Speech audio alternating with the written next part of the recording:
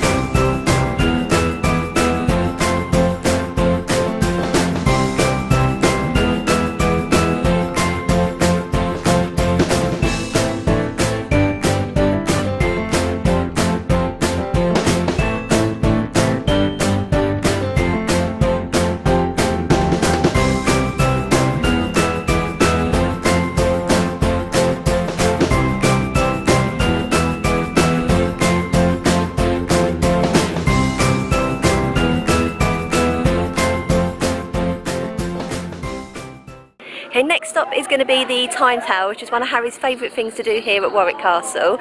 It's kind of like just like a journey through the ages, gives you a bit of history about the castle itself.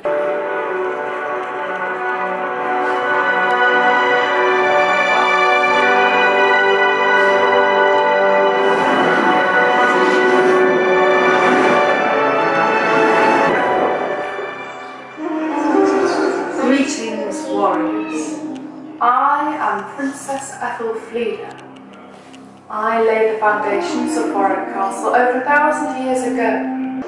In 1066, I, William, Duke of Normandy, travelled to England. I destroyed the Anglo-Saxons at the Battle of Hastings. I commanded that the motte and bailey Castle be built at Warwick, in case I needed to retreat.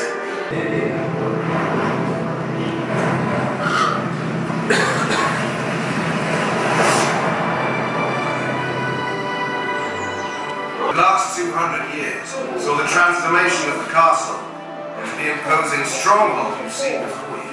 After my time, at the end of the war, the Tudors left Warwick to ruin. The towers collapsed and the walls crumbled. Nothing lasts forever. I, Robert Graham, the man you see there Gave the ruined castle to Fulke as a reward, though some may it a bribe. Building was brought to life there And the rest, as they say, is history.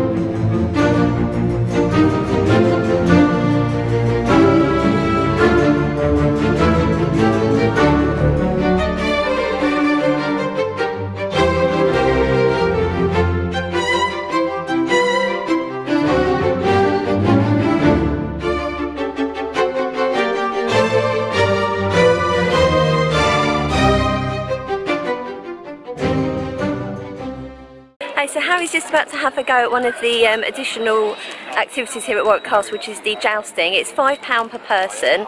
Uh, you do not get any Merlin Pass discount on that.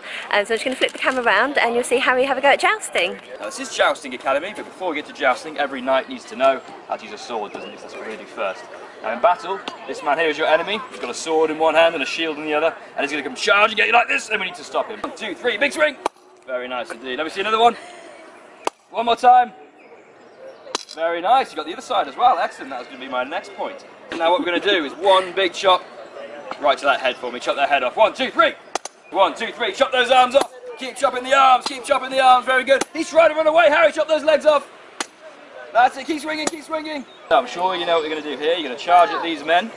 Aim for that shield. The lance is very good for getting rid of shields and defences. You're going to charge. Use the very tip of your lance. Hit him in the shield.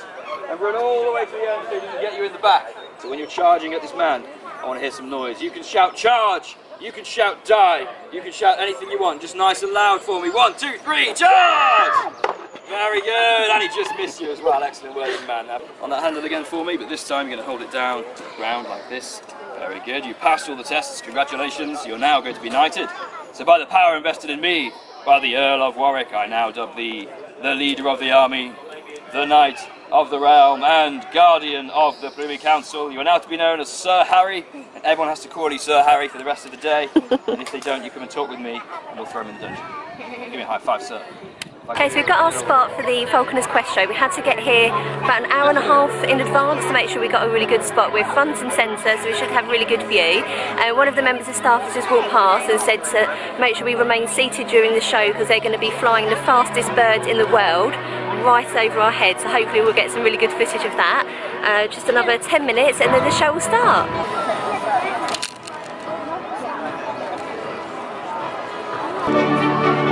I, Thomas de Beauchamp, 11th Earl of Warwick, welcome you. In this year of 1356, I have returned victorious from the war in France. I could tell you of my adventures there, but today I wish to tell you of someone else's adventure, or rather a quest, that helped me rebuild Warwick Castle. I will tell you now of the Falconer's Quest. On my return from France, I saw a great need to replenish my collection of falcons, for I had taken many birds to war, and alas, few had returned. I will go on a quest to bring to Warwick a collection of birds that will be the envy of a king.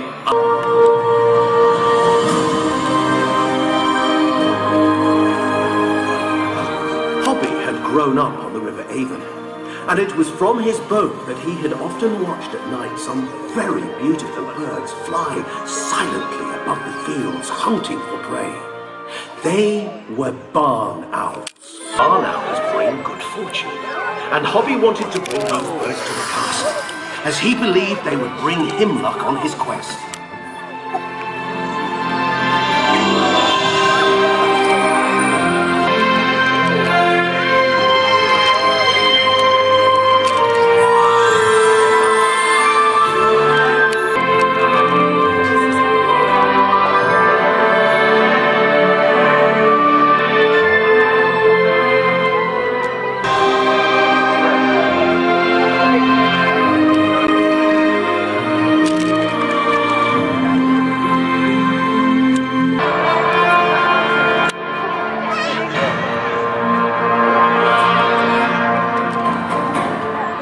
Here in the northern lands, Hobby saw a most splendid sight. It was the largest bird in the land, a white-tailed sea eagle.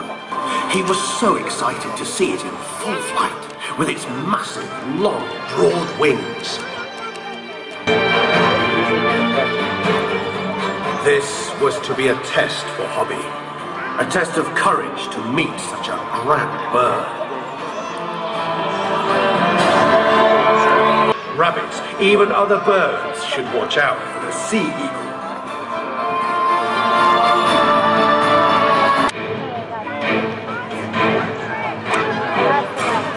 This huge, sturdy bird was a Steller's eagle. Those that cast their eyes on this magnificent bird are transfixed. Dramatic dark brown feathers, white wings, and a blazing yellow beak and talons.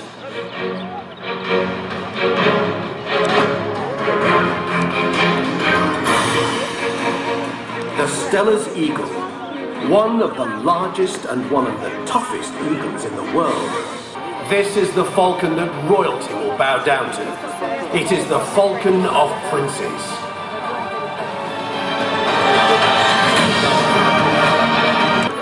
This bird must rely on speed. When she tucks in her wings, she shoots towards Earth to become the fastest bird in the world, the peregrine.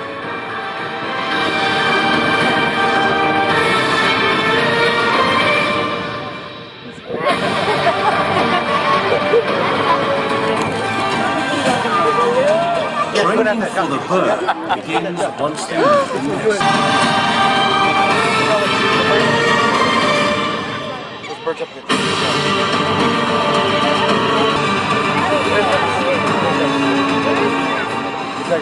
Hobby was amused that this intriguing bird had been overcome by shyness.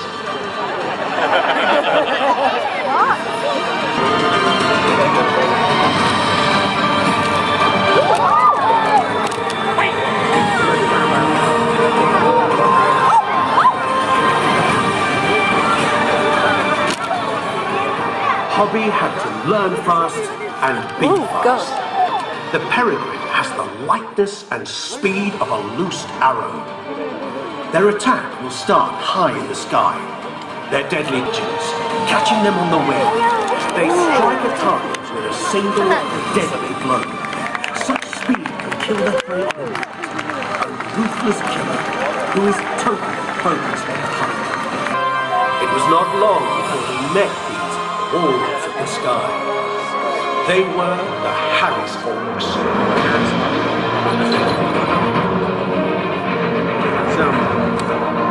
He found the Harris Hawks to be clever and great fun. He understood why they were so popular in sport and hunting.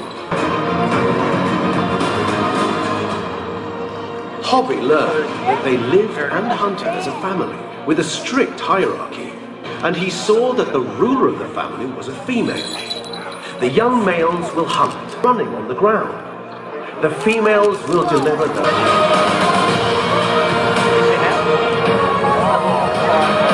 Until one day, he saw an unbelievable sight.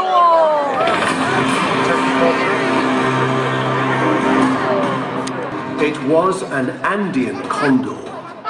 Legend said this was the biggest flying bird in the world.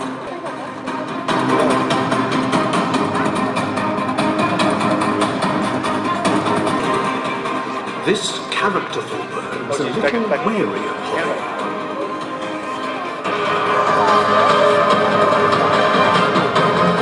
A lammergeier, or a bone-eating vulture.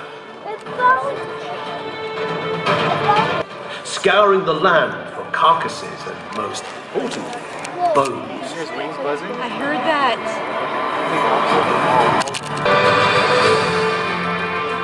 This was the bald eagle. To Hobby, this bird conveyed power and freedom.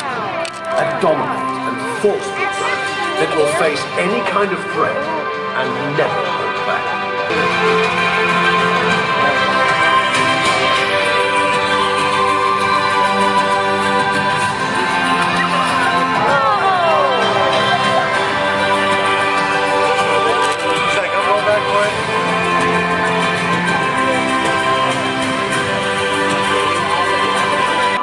That he also wished to see the skies above the castle fall once more with birds of prey. Both Hobby and I were rewarded.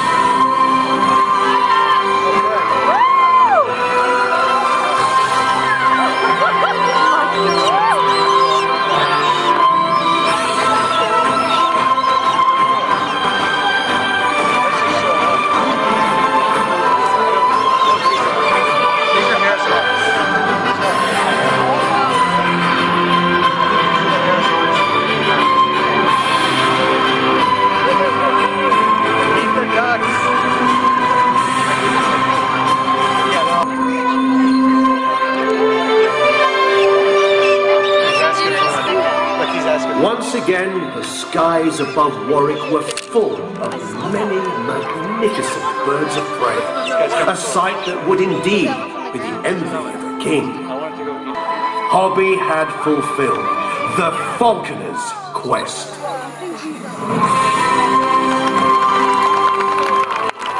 As you look into the sky, let your imagination soar. We have one world, one sky, and one future. We must respect and cherish these magnificent birds. We hope you have enjoyed the Falconer's Quest. Until we meet again, my friends. Until then, farewell. It's a very, very busy day at Warwick Castle. Look at the queue for ice cream! And the queue for the loos is twice as long. Another example of how busy it is today, they're only letting people up to the Guy's Tower in groups of 20 and that is the queue that goes all the way around there.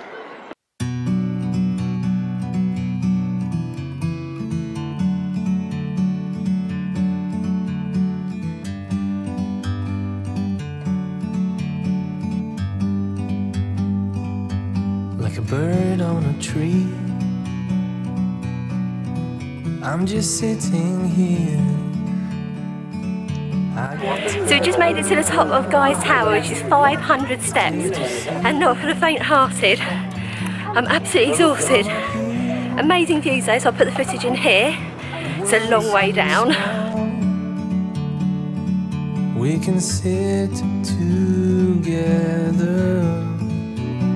It's so beautiful, you and me. We meant to be great outdoors, forever free.